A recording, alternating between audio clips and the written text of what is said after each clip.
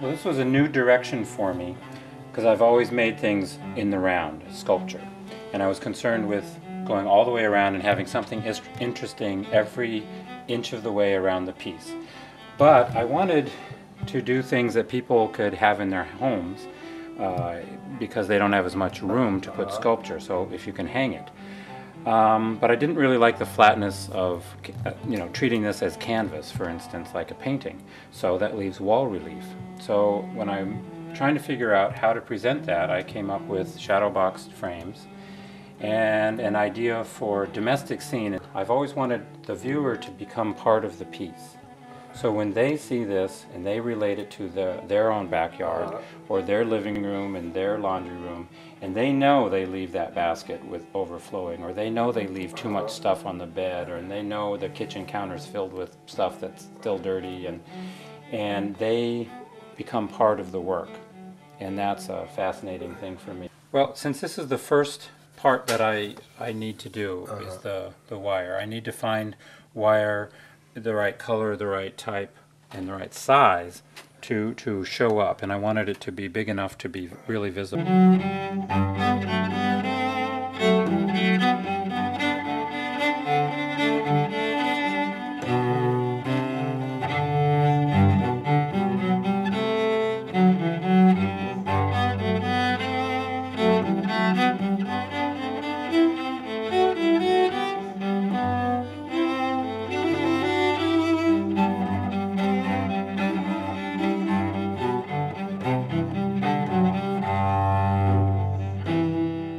Never thought that I worked fast.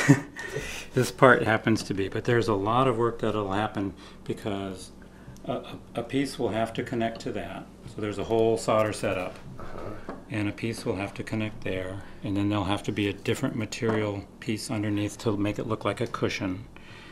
And then there'll be little pieces that once you pull pull this up, little pieces that come out uh-huh. as though they're arms. And so there's plenty of detail to get to. If this is easy right now, that's that's good.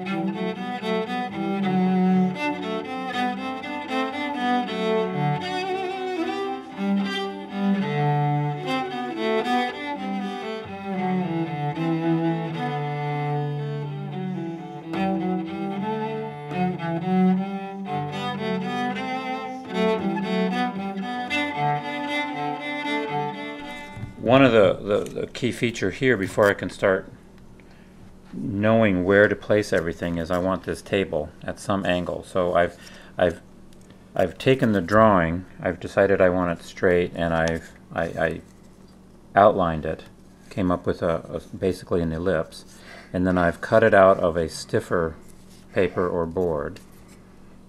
And what I would do is, is find a piece of nickel, because I want this to be a light color, and a light gray color, but not a bright a gray color like mm -hmm. sterling.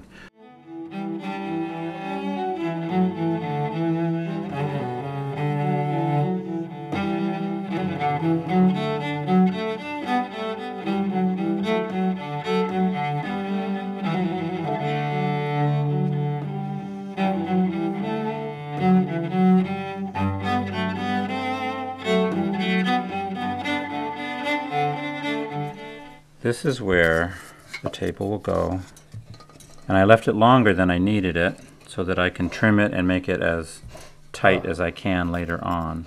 But that's, I can play around with the angle a little bit, but that's basically what it's going to look like. The chair needed to come out a little bit. When I got the actual table in place, uh, it had dimension and the chair can't just hang. It will it will sit flat on the bottom. Right. So what I did was make an angle and decide how high up, and then I measured down, echoed the the uh, supports for the armrest, and it creates a trapezoid. It's a very odd piece of furniture. It's going to take place in a very compressed space. So I've made a grid of what the decking should look like, and I you know, checked out the spacing is wider, closer to the viewer, than so to give you the sense of depth. And in the back, it'll be all the same. It's going to be oxidized Uh-huh. in the groove, uh, and possibly lightly on the boards. I'll do a finish, and then I'll, uh, which will clean everything, but it'll leave a scratch brush Okay. and then I'll oxidize it and then I'll remove that so it's darker in there but lighter on this. And I'll have to do that here, but I'll be taking off a lot more to make this brighter.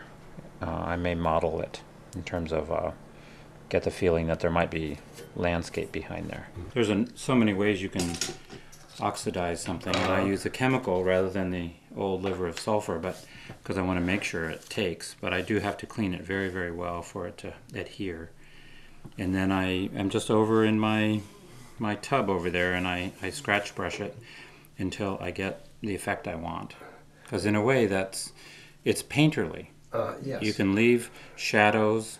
When I was doing the walls for um, the walls that would be dimensional I actually worked with it at that stage to make sure that the the cleaning strokes kind of followed the contours of the fake perspective. So So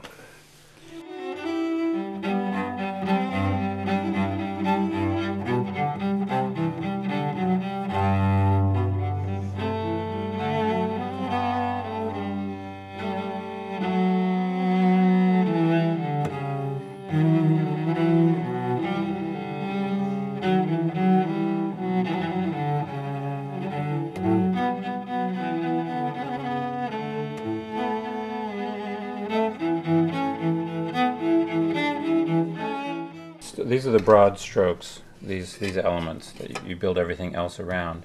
But as I was thinking about the table, thinking about all the little things, let me get a pointer. So I'm going to want a cup for each person, a plate, maybe a tiny little knife. I don't want to get too kitschy, but there's a suggestion that they're eating. And then a platter. Those are all suggestive things and just minimally done. The fun thing is somewhere in here I want there to be a bird.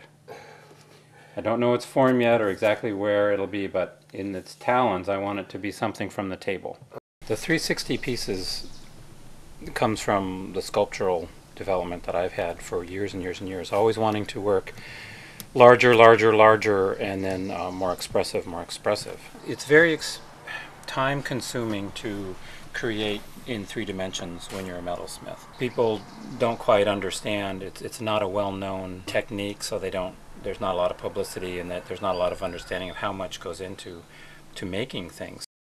The wall pieces came about because I wanted to get away from from the literalness of cups and start playing around with what could be. Uh, In a way, to me, they're left behind things. In something like kitchen, there's toast being buttered. It's left. There's stacked bowls. There's utensils. There's a drawer open.